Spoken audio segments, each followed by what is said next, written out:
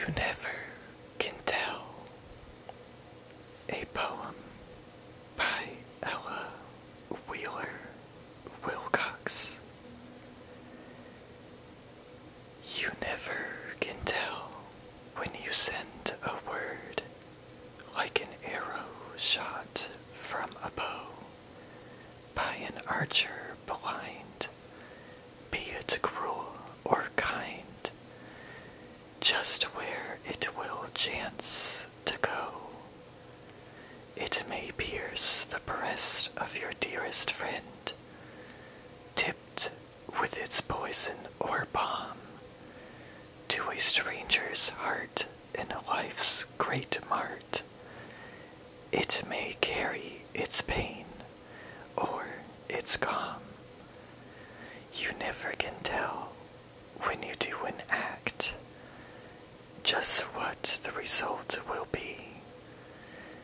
But with every deed, you are sowing a seed, though its harvest you may not see. Each kindly act is an acorn dropped in God's productive soil. Though you may not know, yet the tree shall grow and shelter the brows that toil. You never can tell what your thoughts will do in bringing you hate or love.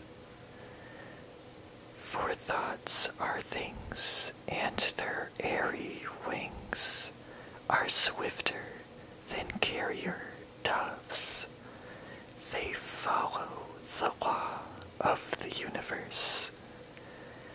Each thing must create its kind, and they speed o'er the track to bring you back whatever went out from your mind.